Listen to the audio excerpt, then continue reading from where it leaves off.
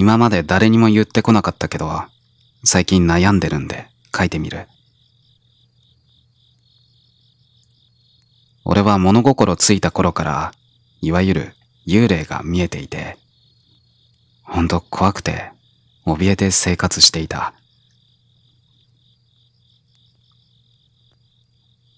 5歳とかの時も夜中発狂していたりしていたんで、親に精神科に連れて行かれたりするガキだった。もちろん、精神疾患なんてない。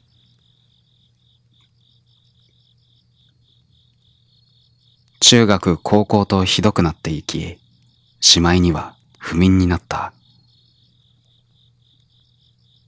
昼夜問わず見える。夜中寝てる時が本当にひどくて、南米系のおっさんとか何語かわからん言葉で喋ってきたり。また、マジで怖いのが、長い髪の女の人。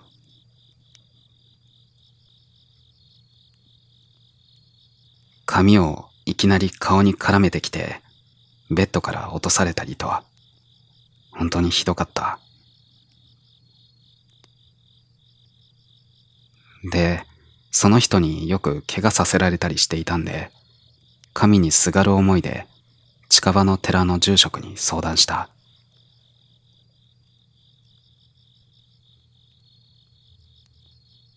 そのままお祓いしてもらい、お札をもらったけど、全然効かない。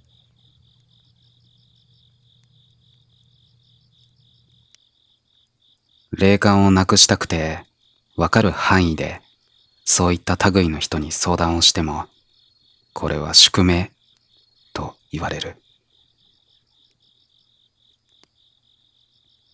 とにかく怖いし、もう死ぬんじゃないか、と思っていた。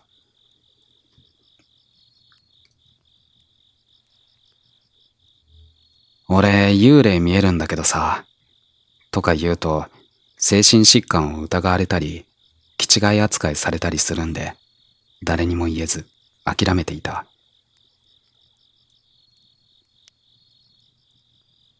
自分で編み出した除霊的な方法で一番聞いたのが自分ちのお経を唱える。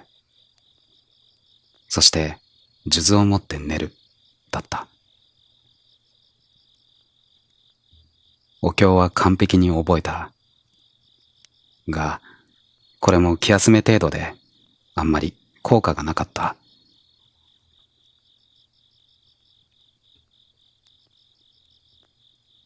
そうして大人になり、22歳頃、実家の仏間で昼寝をしていたら、不思議なことが起こった。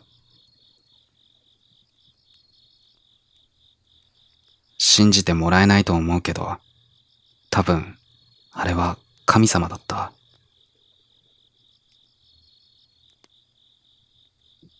姿は狐と蛇が合体したみたいななりで、顔が狐っぽくて、体は蛇っぽい。見たことない動物。で、真っ白。というか、全体的に神々しい。光ってるみたいな感じかな。その神様的な何かが精神にこう話しかけてきた。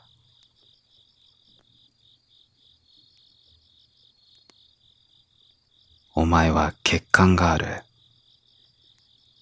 普通塞がってるはずの穴の蓋が壊れてるから直してやろうか。みたいな。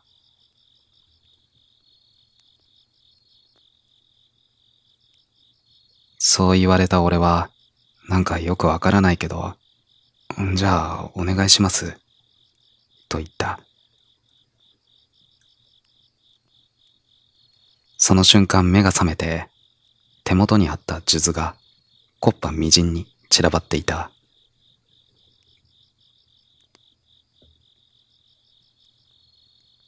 ああ、やべえ。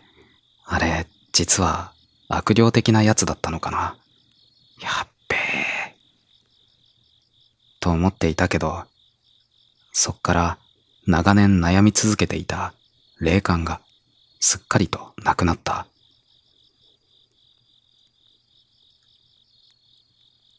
だから、俺の中で、あれは神様だと思っている。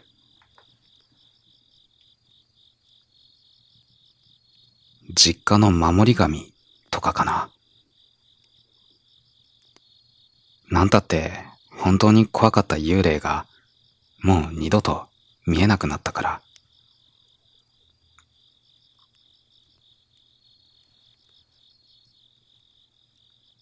それから三年後に結婚して子供ができて、その子供が今年5歳になるんだけど、この子がまた夜中に発狂。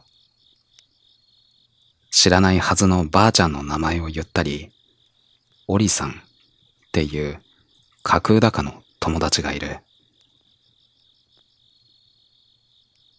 まるで昔の俺のようだ。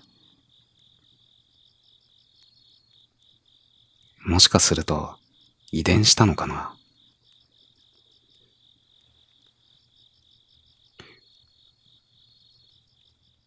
何とかしてあげたいけど、俺にはもう見えないし、あの神様的な人にしか直せないしな、と、今、悩んでいる。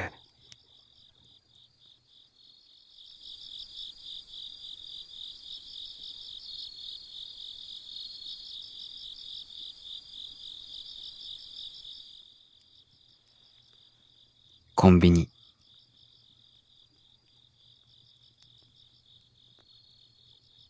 俺が去年の今頃、バイトをしていたコンビニでの話。俺がバイトするのは夜10時から翌朝の6時までの夜勤で、田舎なもんで深夜にはほとんど客が来ないのに、時給750円は楽な仕事だった。その時は俺と店長の二人だけが夜勤に入っていた。その時俺はまだ入りたてのペーペーだったんで、慣れない清掃機に悪戦苦闘しながら、えっちらおっちらと掃除していたんだ。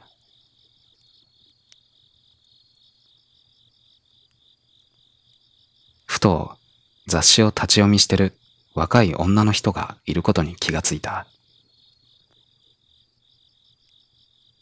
確か掃除を始める前は、一人もお客がいなかったはずだ。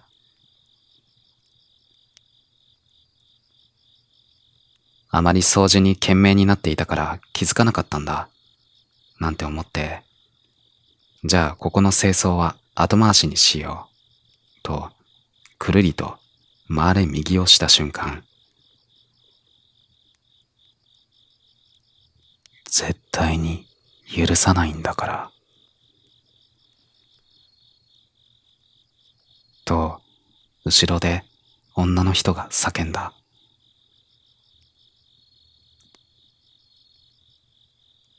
なんだ？と思って振り返ると、そこにはもう誰もいない。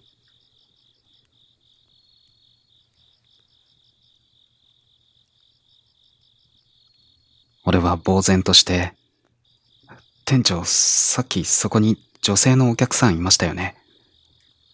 と、店長に聞いてみると、ん？ずっとレジにいたから客が入ってくればわかるけど、誰も店には入ってきてないんじゃないか？との答えが。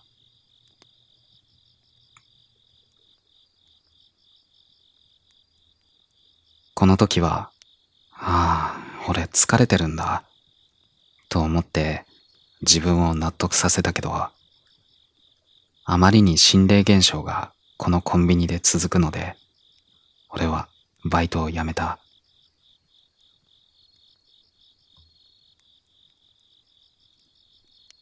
後で聞いたところによると、近所では幽霊コンビニとして有名なところで、いくら新しいバイトを入れても夜勤をさせると皆やめていってしまうらしい。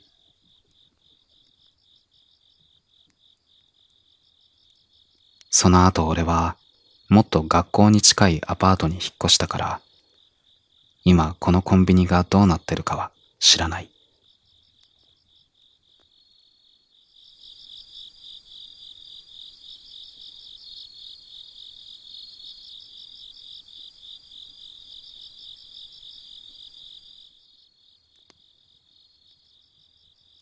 正体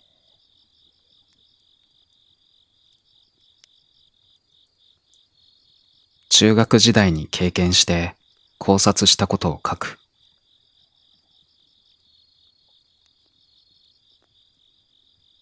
中学時代、部活の試合中に頭を強打して混沌。救急車で運ばれた。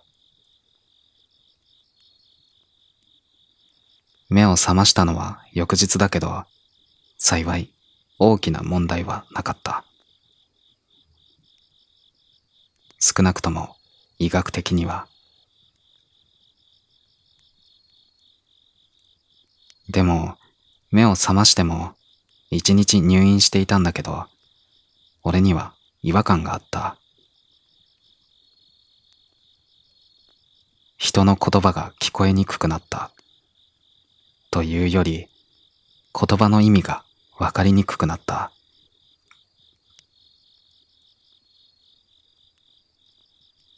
そして何もないところを見ていると、時折ノイズのようなもやが見えた。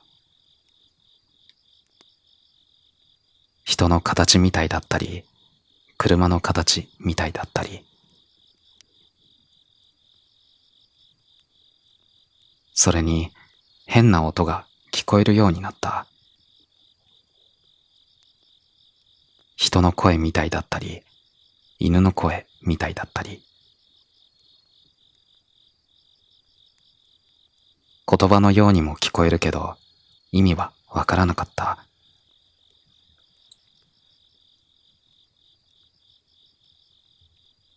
退院してもそれは続いた。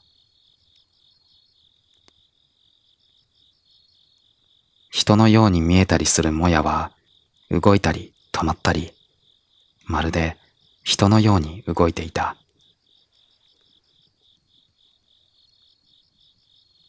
それから言葉のような音も聞こえる気がする。その人のようなもやは、俺たち普通の人間の世界とは全く関係ないところで、階段を登るように見えたり、壁を通り抜けたり、出たり消えたり。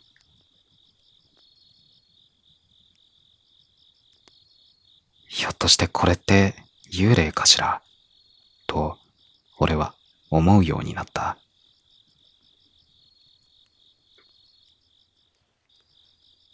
そして、普通の人の声がとても遠くなった。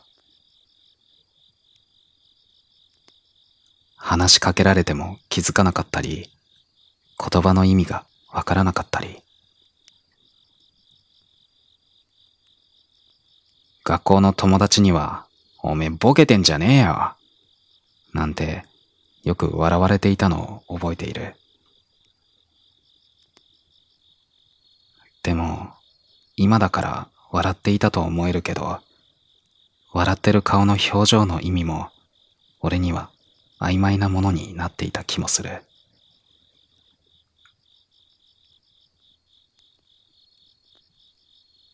最初は幽霊だと思っていたもやも、俺は頭を打って狂ってるんだ、とも思うようになってきた。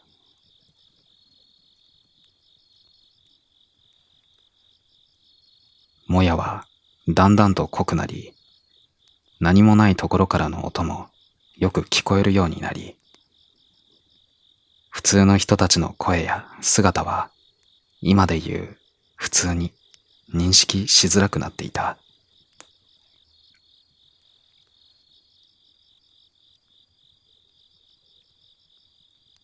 そんな生活をしているうちに、秋口に俺は初めてインフルエンザにかかった。初めての高熱に、俺は一週間くらい休んだと思う。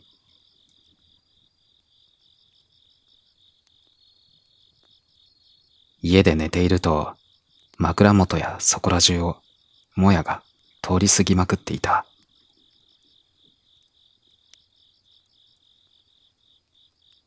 俺は、頭がおかしい。狂ってしまったんだ。俺は、もうダメなんだ。という思いを強くしていたけれど、処方された薬が効いて、俺の熱は下がっていった。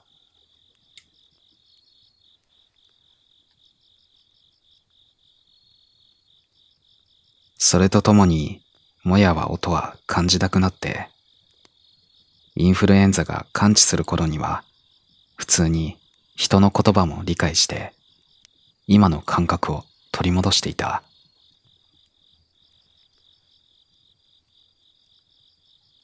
で、その後に考えたこと。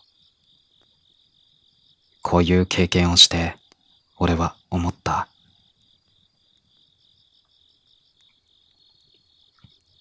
もともとオカルトとかを信じている人間ではないけれど、幽霊を見たり、霊感があるっていう人は、脳に異常があるんじゃないかと。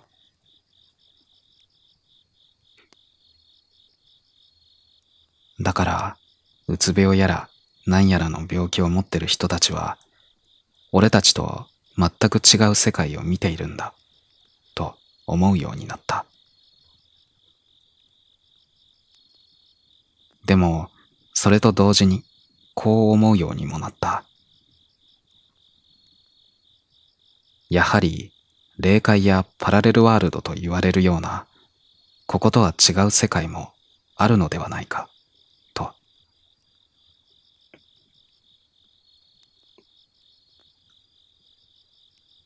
普通の人間の知覚は脳に完全に支配されて、普通に我々の世界として認識する。でも、それが何かのきっかけによって脳のリミッターが外れると違う世界も知覚をできたりするようになるんじゃないか。と、そう思った。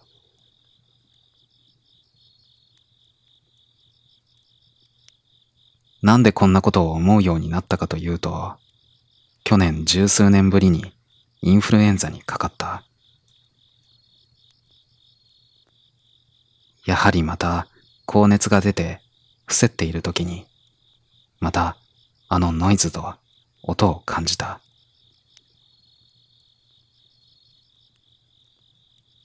それだけだったら脳の障害と言えるような負担が見せる幻覚と思ったんだろうが、今回そのノイズたちが俺に近寄ってきて、口々に俺に音を発していた気がする。久しぶりって言ってるように俺には感じた。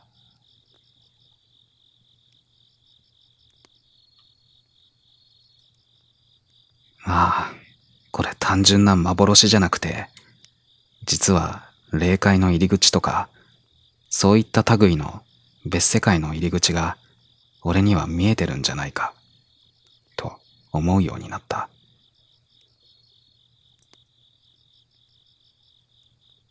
もちろんインフルエンザの治った今の俺は普通の生活をしてるし、何も異常なものは見えないし聞こえない。でも、また何かがあった時に、今度はよりはっきりとその世界を感じてしまうんじゃないか。その世界をこっちの世界と同格に感じた時、俺は死ぬんじゃないか。恐怖してる。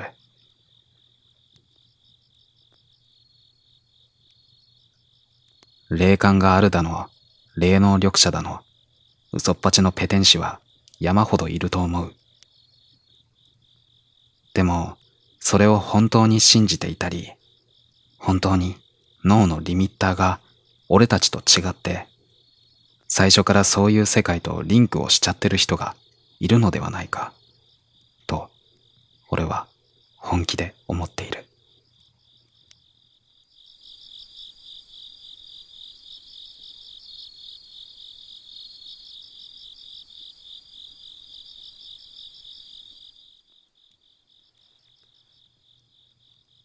はい。どうも皆さんこんばんは、ごま団子です、えー、今日は怪談話を読ませていただきました。はい。えー、最初のお話と最後に読ませていただきましたお話、どちらもね、めちゃくちゃ共通点があるというか、もうめっちゃ繋がってますよね。うん。えー、どちらのお話も頭にリミッターみたいなのがついてて、で、そのリミッターが外れると、えー、そういった他の世界、例えば霊界とかそういうものが見えちゃうんだというお話でしたよね。で、最初のお話の方はそのリミッターをちゃんとポンってこう、えー、神様的な存在の人に直してもらったおかげで幽霊とかが見えなくなったというお話でしたが、これすごいことじゃないですか、これ。生まれてくるときに僕たちは脳にリミッターがしてあるでしょうね。うん。で、そのリミッターがちょっとこう外れていたりとか、えー、またはもうすごく外れていたり、もうそもそもリミッターなんてないよっていう人もね、いるかもしれないんですけど、そういう人たちはもう本当にもう霊能力が高くて、いろいろな幽霊を見れたりとか、お祓いとかをできたりとかするんでしょうかね。よくあの、あの、あなたは霊感がとてつもなく強いから、あなたはもっともっと修行すればもっと伸びるみたいな感じで、えー、言われる人の話を聞いたりしますけども、そうやってもうあなたはもう素質があるみたいな、ね、もっと磨けば霊感がすごいことになるみたいな、ね、そういう人っていうのはもうリミッターほぼほぼないんでしょうかね。どういう方法で外したのか、うん、なんかこう日常生活の中でこう些細なことでこう例えば頭をこうコンって打っただけで、えー、リミッターが外れたのかそもそもそも生まれた時からないのかわからないですけどいやーなんかねすごい話だなと思いながら読ませていただきましたね2つのお話うん僕幽霊実際に3回ぐらい自分の目で見たことがあるんですけど、でも普段は全然見えない人で、で、なんかね、疲れてる時とかに結構見る感じがするんですよね。だから疲れてる時にリミッターって外れやすいんですかね。また、あと、子供の時に結構見るって言うじゃないですか。子供の時はまだリミッターっていうものが確立されてないんでしょうかね、脳の中で。大人になりにつれて、どんどんその脳の成長とともに、その体が大きくなるとともにやっぱ脳も成長していくので、その段階でこうリミッターがされるのか。いや、なんか人体の不思議というか、うん、まだまだこの世には解明できないというか、そういう謎がいっぱいあるんじゃないかなって、やっぱり再度ね、えー、認識させていただきましたお話でございました。はい、大変興味深かったです。はい。ということで、今回のどのお話も本当に興味深く読ませていただきました。読ませていただき、ありがとうございました。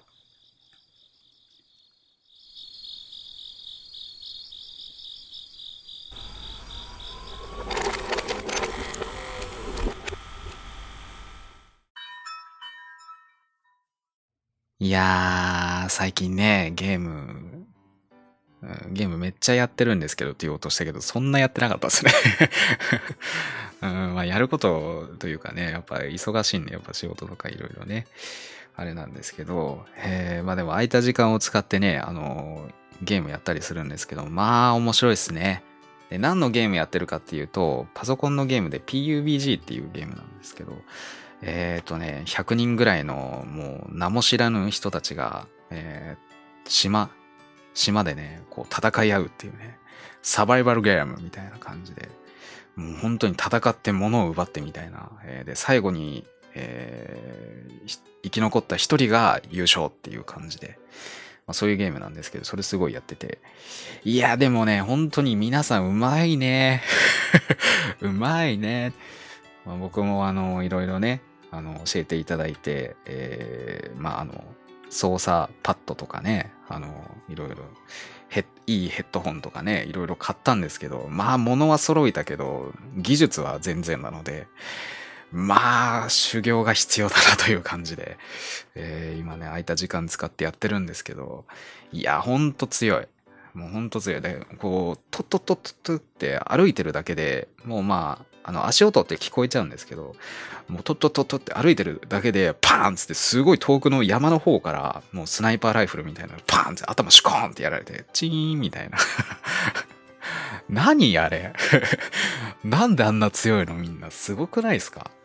僕ね、どんなに練習してもあのレベルにはいけない気がするんだけどそのゲームの中でやっぱ弾速とかね、えー、こう、弾の、こう、ね、ある程度の距離行ったらやっぱ落ちてくんですよ、弾。ね。で、その距離をちゃんと決めて、シュパンって撃って、で、僕の頭にスコンって当ててて、もうプロだね。まあ練習の甲斐もあってか、まあ最初の頃よりかはね、だいぶ敵と戦えるようになってきたんですけど、まあほんとね、どんだけ練習してもほんと強い人ばっかりでね、すごいよね。ね、思いましたけど。うん、本当にね、時代は変わりますね。うん昔のようにその場に集まってね、ゲームしなくてもいいんですから、今インターネットで繋いでね、100人同時対戦とかできるんですからね。いや、すごい時代だなと思いながら、えー、まあ、ちょうど今修行させていただいてます。はい。えー、またその修行のな、あのー内容っていうか、修行の風景とかもまた今度、えー、まあ、ゴマブロスっていう兄弟でやってる運営チャンネルがあるんですけど、そちらでまた生配信やってたりしますので、ぜひぜひよろしくお願いします。はい。ということで、本日もここまでご視聴いただきまして、誠にありがとうございました。えー、よかったらチャンネル登録評価ボタンクリックよろしくお願いいたします。えー、あと、この動画の詳細欄の方に、えー、僕の Twitter の URL と、えー、あと、ゴマブロス、兄弟でやってるチャンネルの URL、そして、えー、僕らが運営してるサイト、ホラホリックスクールの URL がありますので、よかったらチェックしてみてください。はい。じゃあまた次の動画、もしくは生配信でお会いいたしましょう。この単語でした。おやすみなさい。